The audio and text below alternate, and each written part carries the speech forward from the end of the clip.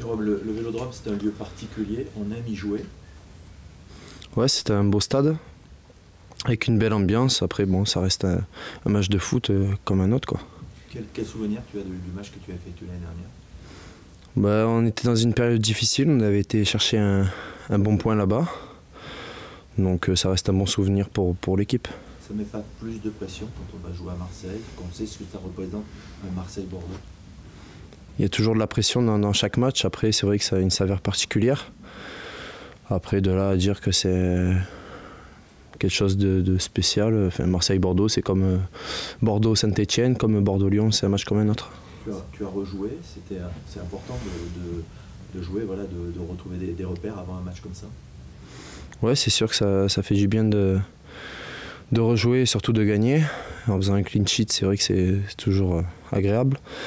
Après, c'était un match de coupe, maintenant place au championnat, et ce sera un match différent. Quelles ont été tes sensations? J'ai eu de très bonnes sensations, euh, donc tout s'est très bien passé. C'était dans un état d'esprit différent du, du début de saison quand tu avais, quand avais commencé dans la peau du numéro 1 Ben, je pense qu'au début de saison, je me suis mis une pression un peu trop importante. J'ai le mal géré, et puis voilà. Puis après, suite au changement ben, que le coach a effectué, ben, je me suis mis, remis au travail. Quoi. De toute façon, il n'y a pas le choix. Donc on a travaillé, travaillé, travaillé, et aujourd'hui, ben, je me sens prêt. Donc euh, on verra pour l'avenir.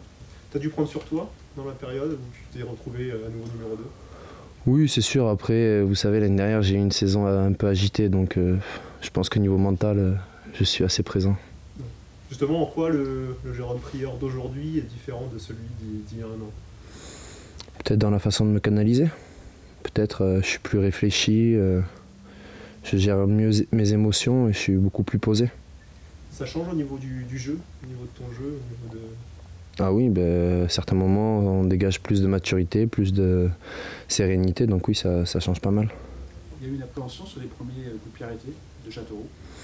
Non, pas vraiment, non, non, c'est quelque chose qu'on avait euh, travaillé, euh, qu'on travaille depuis plusieurs semaines maintenant, donc euh, non, non, non, il y a eu ce qu'il y a eu au début de saison, maintenant on regarde vers, vers le futur.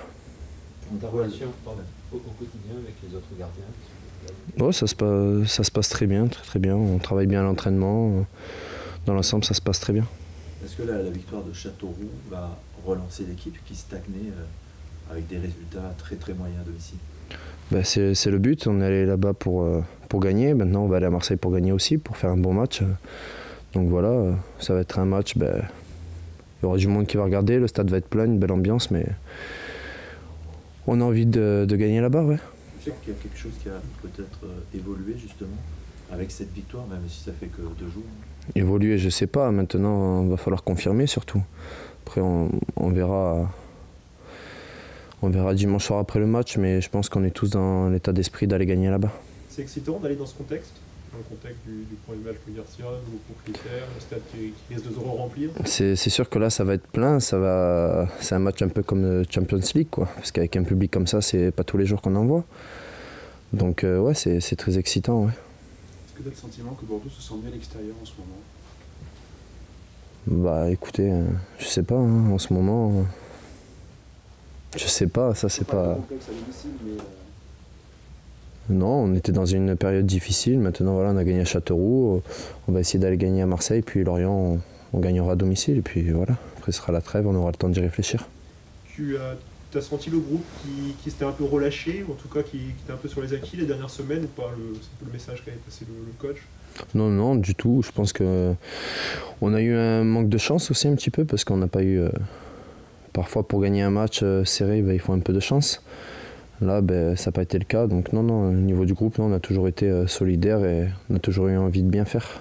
Qu'est-ce que vous regardez Le fait d'avoir trois points de retard sur le quatrième? Ou d'avoir que deux points d'avance sur le 11e Marseille Euh, sincèrement, on regarde pas trop ça. On regarde les matchs les uns après les autres et gagner le plus de matchs et après on, on regardera le classement à la fin. Il n'est pas important aujourd'hui le classement. C'est gagner les matchs qui est important. tu, tu disais que tu ne voulais pas regarder le passé, que tu regardais vers le futur. Comment tu vois, toi, le, le futur pour toi? Comment tu. Bah, quand je parle de futur, c'est la saison, le reste de la saison, comment tu le. Mais écoutez, euh, il y a un coach qui a des choix à faire, il les fera. Puis voilà, on verra à Noël ce qui se passe, on verra à la fin de saison. Moi, je suis contra- en contrat jusqu'en 2020 ici, donc euh, bah, écoutez, j'ai le temps d'y réfléchir. Aujourd'hui, tu es, vraiment, euh, t'es vraiment sur le présent, sur le. sur. Ah oui, vraiment, les matchs les uns après les autres, c'est rien de se projeter euh, plus loin. Est-ce que c'est rassurant d'avoir Igor et Nicolas devant toi? Ça change quelque chose par rapport à ce que tu as connu Ça apporte de la taille, ça c'est sûr.